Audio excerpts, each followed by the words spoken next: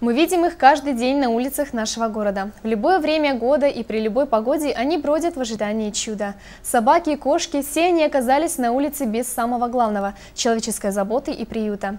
Печальная статистика утверждает, что 75% бездомных животных – это результат безответственного отношения со стороны их владельцев. Как приходится выживать братьям нашим меньшим и почему они оказываются на улице, выяснят наши корреспонденты.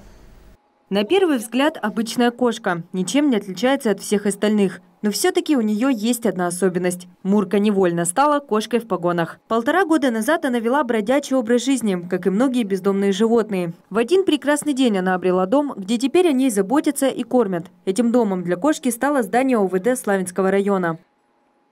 Появилась она, пришла, было очень холодно, был гололед. Она пришла по крыше, уже беременная, ну, первых котят мы не видели, а вот, вот второй, второй помет мы видели котята и вырастили их. И в хорошие руки уже отдали, а кошечка с нами мы ее воспитываем и за ней ухаживаем.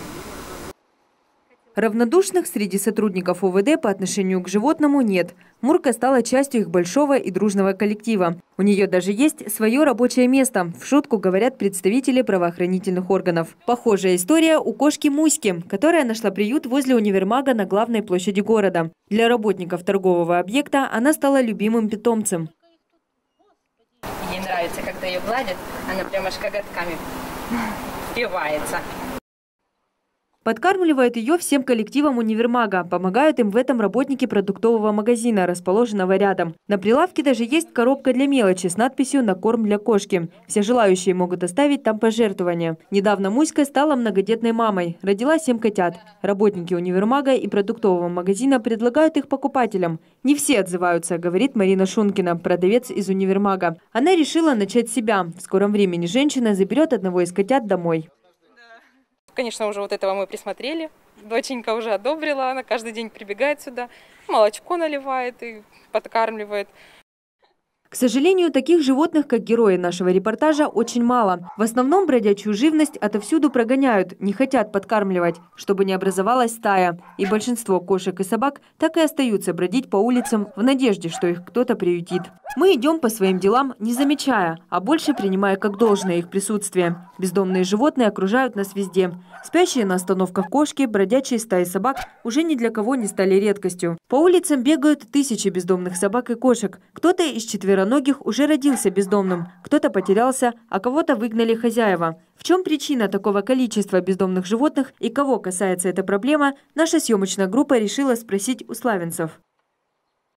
Ну, потому что люди это выбрасывают. Они не нужны им. Вот берут детям, да, а потом они вырастают. Куда их? Они их выкидывают. Так же, хоть эти кошки, а собаки нападают на людей. А это плохо, конечно. Зачем? Наигрались, потом выбросили. У меня во дворе их уже штук 15 живет. В моем, я живу в частном дворе, уже штук 15. И, ну что я с ними сделаю? Скажу ребенку своему, давай их выбросим. Нет, вот ходят, у нас поели, там поели, туда поели. Хотя с удовольствием бы как-то тоже, они тоже не нужны, по, по сути. Просто, я не знаю, запретить людям вообще заводить животных, особенно кто в квартирах живет. Заводят, а потом выбрасывают их. С точки зрения санитарно-гигиенических, конечно, это нужно решать вопрос, потому что это источник всякой заразы, болезней, ну и неудобств, конечно, и опасность приносит.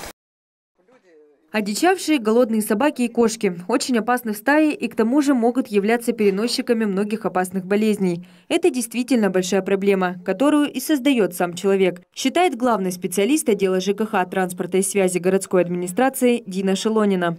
Мне бы хотелось, чтобы наши жители, в первую очередь, когда заводили животных, думали о том, что они несут ответственность за того, кого они приручили. И в первую очередь занимались этими животными. Не хотят иметь потомство от этого животного. Будьте добры, сделайте стерилизацию.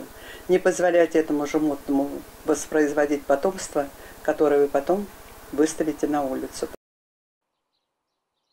Возможно, отношение к бездомным животным – это проверка названия называться человеком. Именно от людей полностью зависит, какую печать мы ставим на их путевки в жизнь, которая четко и неотвратимо, как приговор судьбы, решит их будущее. Ведь судьба собаки или кошки с момента появления на свет полностью в наших руках. Ответственность отличает человека от других живых существ не случайно.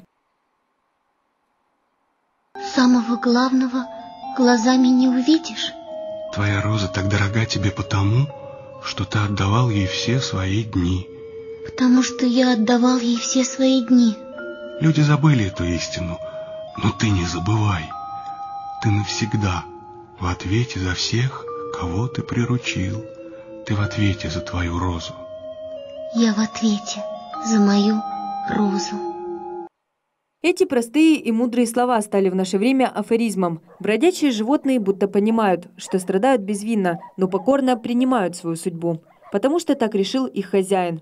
Прежде чем завести питомца, каждый должен задуматься, а сможет ли он обеспечить этому животному хорошую жизнь или, наигравшись, бросит его выживать на улице. Рожденные для смерти. Именно так можно описать в двух словах существование бродячих животных. И так будет до тех пор, пока человек не научится брать на себя ответственность за того, кого однажды приручил. Дина Копачевская, Георгий Калинин. Программа «События».